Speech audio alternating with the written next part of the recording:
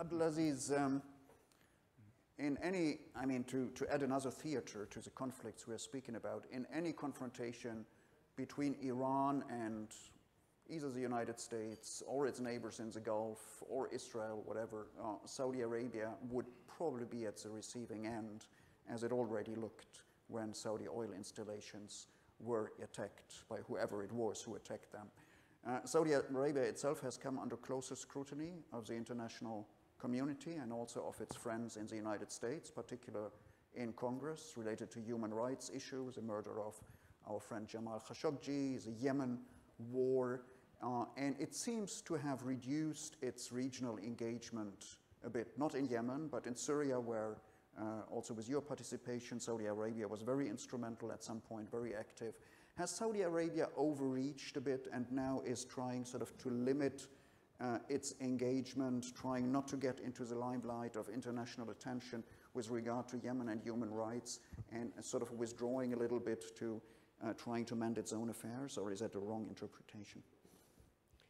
Well, it's a, a bit complex, uh, you know, situation. I think if I if I look at the current situation in Yemen today, for instance, it is very much directly linked to the conflict with Iran, because without the Iranian support to this militia, which is to my surprise how the rest of the world and the community call them the de facto government or reality on the ground.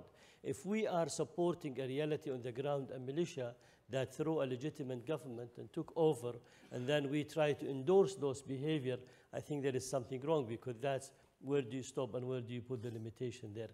Saudi agenda today, of course, yes, we were involved in Syria. On the beginning, we tried to help the Syrian people to reorganize themselves. We extended a lot of support with the coordination with the international community. But I think on the Syrian situation, uh, today it's more of the, uh, the, you know, the three level have failed. You know, the direct discussion on the um, Arab, uh, you know, uh, uh, circles have failed.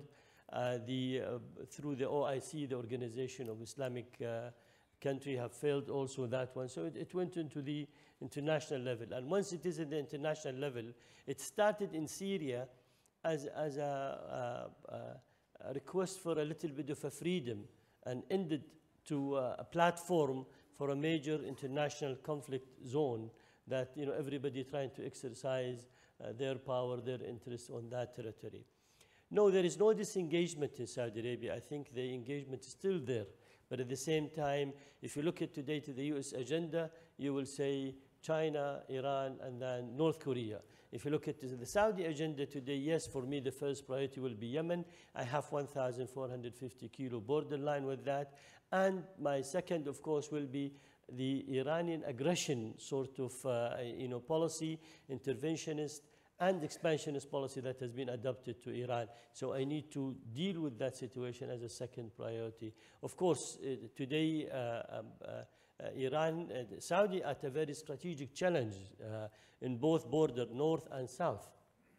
Because in the north side, Iran, uh, you know, continuously supporting all the militia group, we call them al-Hashd al-Sha'bi in Iraq, which, you know, they're fully uh, funded, uh, trained, supported by the uh, you know, Iranian Revolution Guard, and at the same time in Yemen.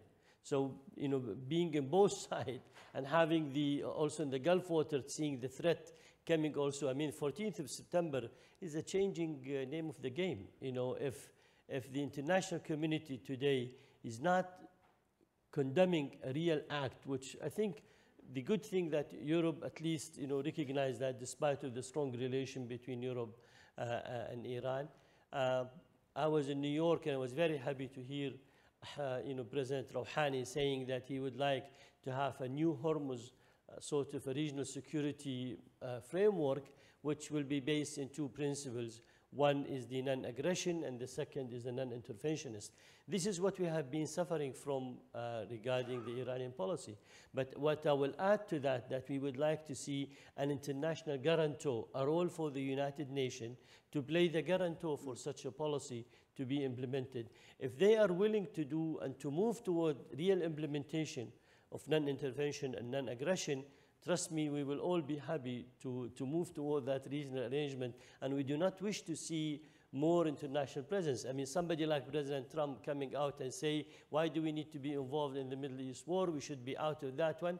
I think he's mistaken by two things. He has the two strongest uh, you know, enemy and a friend. I mean, uh, Israel is the strongest, you know, friend for the United States, and it is within that Middle East, uh, you know, uh, uh, you know, geographical location. And Iran, which is his biggest enemy, or the second top in the list for him, uh, is there. So by this engagement or by having, uh, uh, uh, you know, double standard in one way, yes, you withdraw your, you know, your soldier from the North Syria, Syria, but at the same time, you're willing to send 3,000 soldiers to Saudi Arabia. Yet you will say, we have agreed with the Saudi to pay for the cost of that one.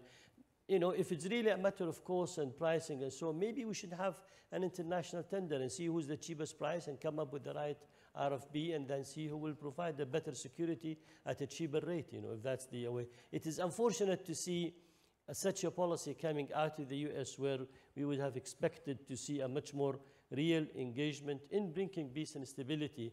What the invasion of 2003 into Iraq, did that really bring the stability to Iraq? Are we having a stable, secured, safe, unified Iraq today? We don't. So back to your first question when we start, is the involvement and the engagement of the um, you know, external power, is it in the best interest or the worst interest of the region? It depends how that involvement play roles. I mean, without uh, a withdrawal of Obama, President Obama, uh, uh, uh, red line as he called it, we, we would have not seen the Russian back into the region with, with such a strong you know, desire and presence. And today in Saudi Arabia, we are receiving President uh, you know, Putin visit. So, uh, you know, that makes it a much more complex scene in, in the region. Uh, uh, so we will still Saudi Arabia, we will, they will be involved through the uh, four different layers, of course, you know, their own interest, you know, with each one of the countries. Second, through the GCC, despite of whatever uh, uh, Uh, uh, current situation in the GCC, through the Arab League and through the OIC and then through the United Nations. So they have all this different, uh, you know, multi-layered. Saudi did condemn uh, the Turkish, you know, role in the north part of Syria.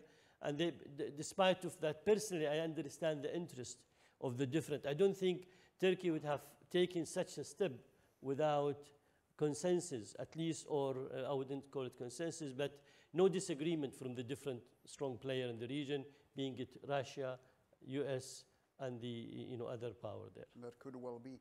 Uh, I mean, you, you already pointed to that that Saudi Arabia, compared to the to the Kurds in, the, in Syria have the advantage you can pay for American soldiers, uh, even though not many Saudis have probably fought in the Normandy, uh, and they wouldn't have been called Saudis at that point. Uh, anyway, um, I, I, think there's one important point which I would like to stress, and I don't know how far you want to reveal things. I know that you are involved personally with your research center in second tracks with the Iranians. And um, without going into too much details you don't want to reveal, would you see real opportunities for de-escalation and security building across the Gulf based on the contacts you're having with the Iranian counterparts? I think it was very clear. I mean, WikiLeaks did leak the information, so it's not any more secret, you know, about, about our track two, which we have started in 2012. But at the same time, you know, last meeting, it was in New York, uh, end of September, after the uh, uh, uh, General Assembly. Uh, my feeling today, since the Iranian came for the first time saying, yes, we will have a regional security based on the two, you know, principle, non-intervention and non-aggression. I think, uh, you know, with uh, a strong presence of the UN as a guarantor, as I said, it will be welcomed, and I don't think there will be any rejection from the Saudi side, you know, toward that. And uh, we have indicated very clearly, and also when we talked about uh, uh, you know, Yemen and how situation will be in Yemen, um, you know, Iran realized that it is not even in their best interest because they do also have a different militia, they do have, uh, you know, different groups. So if the, if the international community start recognizing the role of the violent non-state actor and giving them a, a, role to play, where do we stop there? Every country then will have its own problem in that one. But um, Am I pessimistic or optimistic? I think it all depends on Iran today.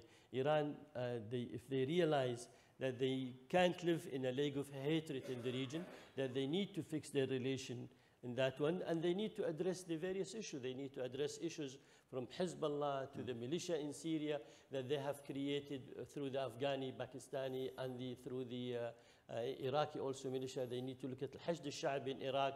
They need to look at, uh, you know, Al-Houthi in, on, the, on the south. If, if they change that sort of attitude and willing to be a response, because they have chosen, by the way, to deal with through this militia for two reasons. One, to support the regime that they want if they decided to, like what they did with Hezbollah in Syria. The second is to leverage with them, to use it as a disturbance uh, tools that, you know, the same thing, you know, it's like what they did in Lebanon when they have delayed the, you know, uh, the, the, government role in that one and became much more uh, aggressive in that one. I think I would still call for a real major constructive global engagement you know, in solving a lot of the you know, regional problem that we have, starting from Libya all the way to Yemen, uh, you know, going through the, the, the, the whole things here. Thank you.